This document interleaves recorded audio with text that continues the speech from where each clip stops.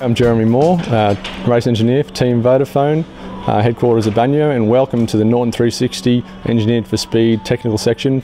Today we're looking at brakes.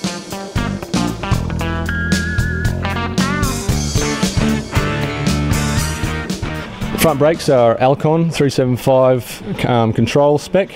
Um, they're one of the most critical parts on the cars. These cars are quite heavy, so um, brakes are I wouldn't say uh, limiting factor, but they're they're on the limit for the wheel size, only 17 inch wheel. So uh, the braking um, cooling factor of the of the brakes are one of the the most important things to get right in these cars. Otherwise, you, you'll be you'll be going nowhere and you can't fight for position.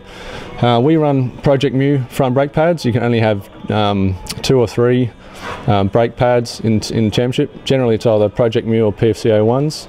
Um, so we run uh, these pads. Um, we manufacture all the brake bells and all the components in-house. Now one of the most important things on the front brakes especially is brake cooling.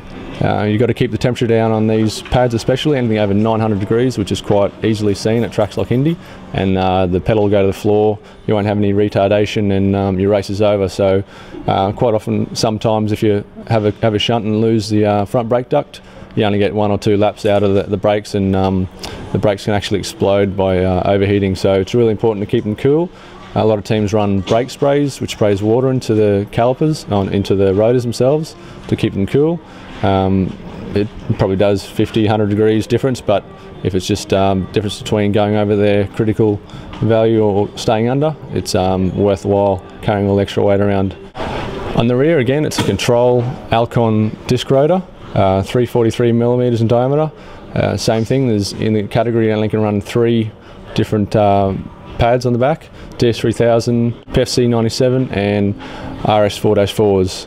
Uh, a lot of teams vary the different pads um, front and back to try to get different brake balances during the stop. It's quite critical to keep the uh, all four wheels either making sure that they're all going to lock up at once instead of having, the, say, the rears go and later in the stop and the fronts go at the start of the stop. So it's all about phasing the, uh, the um, friction of the pads with regards to brake temperature and uh, brake bias. So it's all trying to get the, the package working the best for each driver.